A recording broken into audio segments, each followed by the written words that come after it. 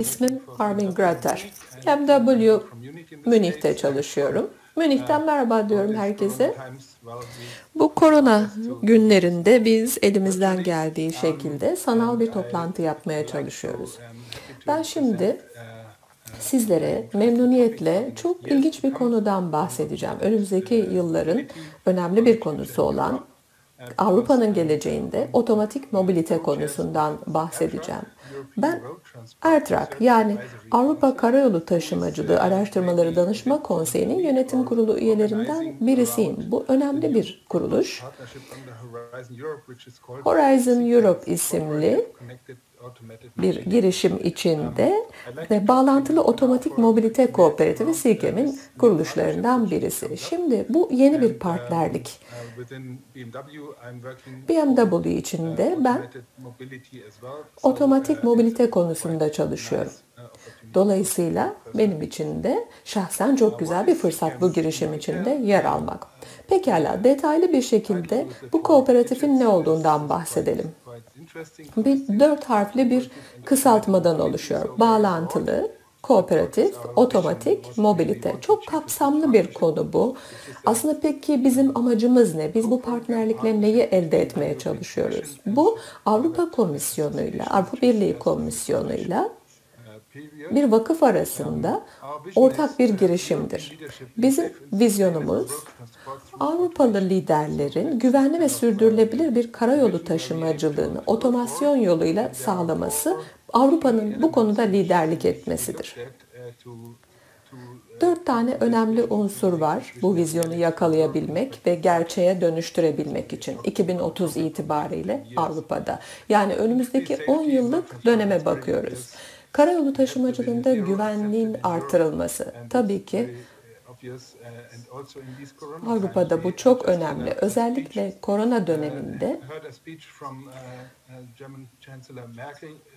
Almanya e, şansölörü Merkel'den bir konuşma duyduk korona salgınını, pandemiyi trafik güvenliği konularına benzetti ve alınan güvenlik önlemleriyle güvenliğin nasıl ilerletilebileceğini ve bunun sonucunda ölümcül kazalar olmayacağını söyledi. Almanya'da da biz nüfusumuzun hayatını korumak, kurtarmak istiyoruz. Bu nedenle COVID-19'a karşı güçlü önlemler alıyoruz. Bu çok önemli bir konu. Karayolu taşımacılığının çevre üzerinde olumsuz etkileri var. Bu da çok net tabii ki. Şimdi Avrupa karbondioksit mevzuatı ortaya çıktı. Bunları hangi şirketlerin talepleri, gereklilikleri yerine getirebileceğini göreceğiz. Bu mevzuat tabii ki Avrupa için yeni bir mevzuat. Dahil edici mobilite. Bu da başka bir konu. Biz herkesin yaşlı, engelli gibi bir takım engelleri olan kişilerin de mobilite ihtiyaçlarının karşılanabilmesi gerektiğini düşünüyoruz.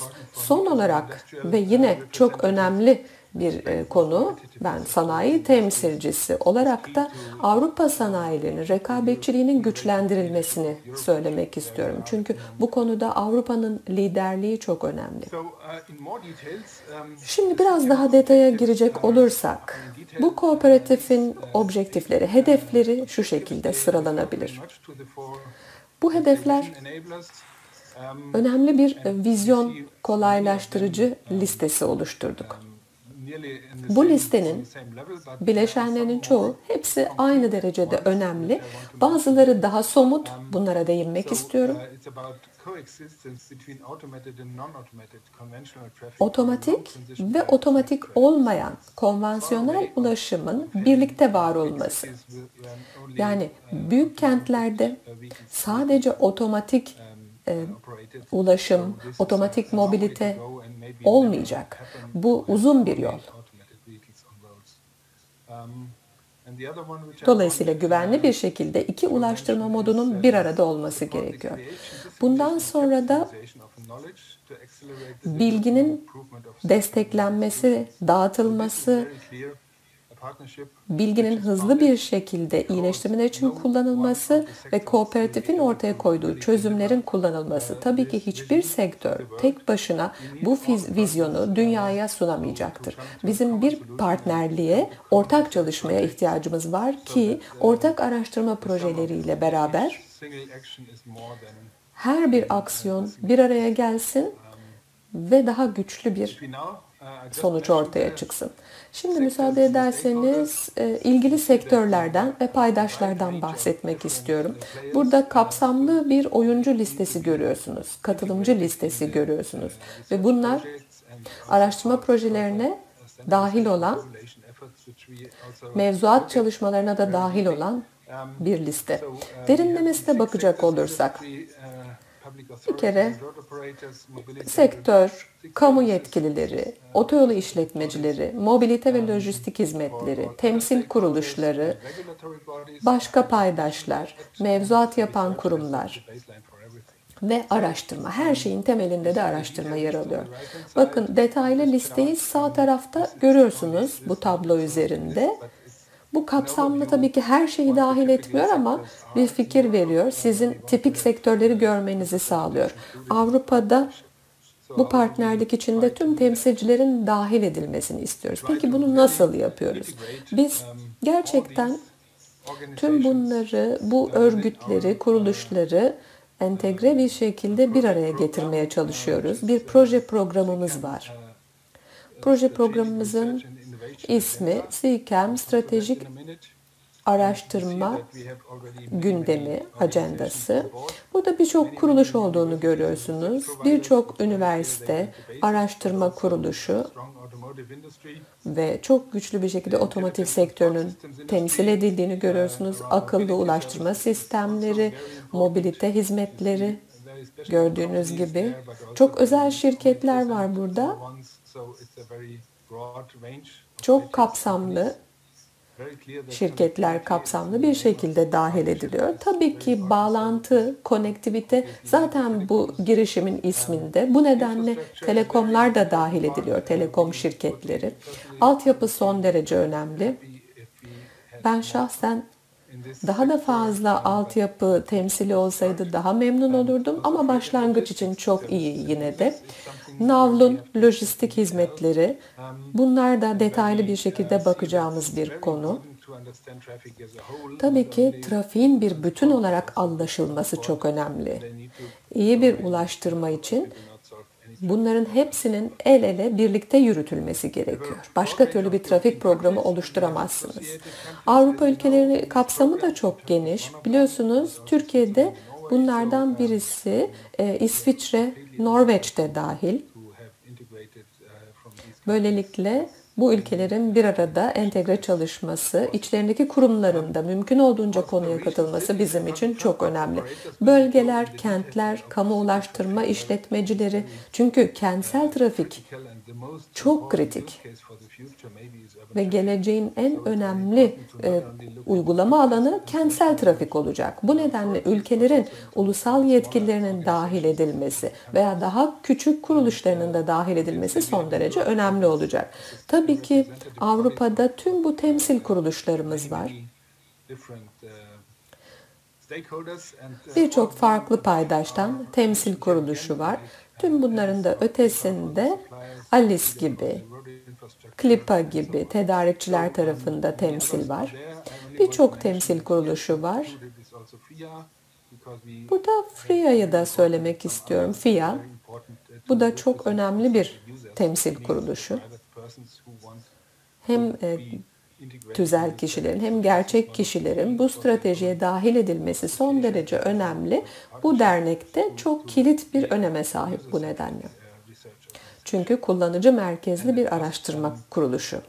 Son olarak gruplar ve test merkezleri var. Clusterlar ve test merkezleri var. Yine yaşayan canlı laboratuvarlar, konunun demolarının yapılması bizler için çok önemli. Bu kuruluşlar tüm araştırma çalışmasının sonuçlarını bize gösterecek olan kuruluşlar. Şimdi tüm konunun en e, önemli konusuna gelmek istiyorum. Stratejik araştırma ve inovasyon gündemi nasıl uygulanacak? Biz geçmişte birçok proje yaptıktan sonra ben yaklaşık 10 yıldır Avrupa Koordinasyon ve Destek Aksiyon grubunda çalışıyorum. Bu bir projedir. Tüm araştırmaları, araştırma projelerini koordine eden bir kuruluş.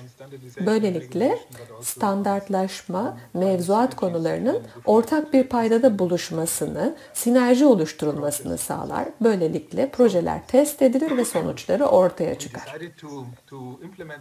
Biz bu noktada bu stratejik araştırma inovasyon gündemini 7 cluster'da, 7 kümede uygulamaya karar verdik. Sağ tarafta bir arada bu kümelerin nasıl yapılandığını görüyorsunuz. Sol tarafta farklı bir sıralamada yine aynı listeyi görüyorsunuz. O nedenle de bunu açıklamak lazım. Biz en başta başarılı uygulamayla başlıyoruz. Başarılı uygulama kullanıcı ihtiyaçlarının ve toplumsal özelliklerinin mobilite konusunda anlaşılmasıyla başlar.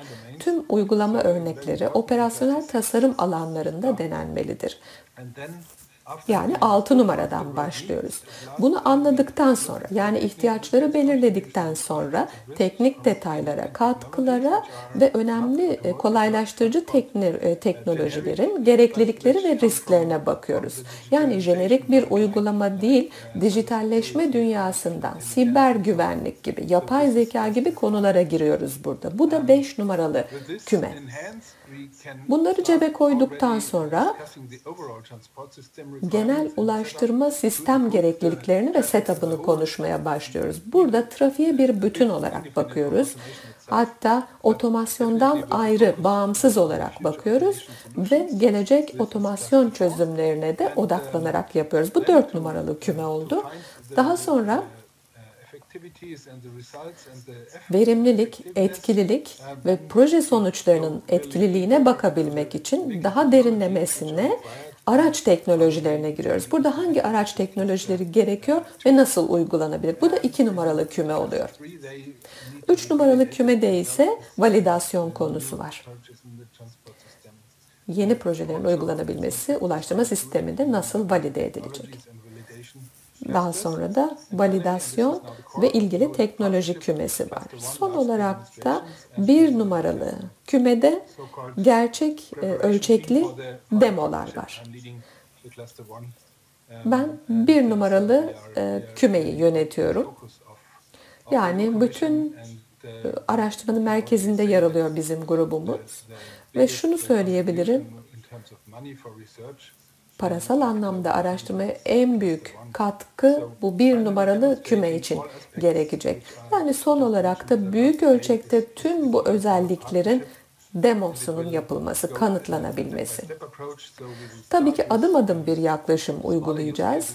En başta küçük örneklerden başlayacağız. Mesela bir park ya da kamyon, merkezler arası kamyon operasyonları gibi küçük merkezlerden daha sonra daha büyük ölçekli bir kentsel örneğe bakacağız gece veya kötü hava koşullarında ulaştırma gibi sonuçlara bakacağız. Canlı laboratuvarlarda, birden fazla laboratuvarda Avrupa'da bu çalışmaların demosu yapılacak. Bu önümüzdeki 10 yılın ikinci yarısında bunun demoları yapılmaya başlanacak ve böylelikle sonuçları topluma ve kullanıcılara faydalı olacak.